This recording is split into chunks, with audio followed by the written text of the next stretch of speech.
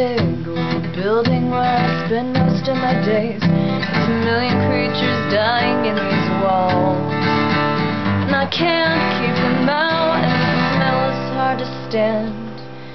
And the exterminators won't return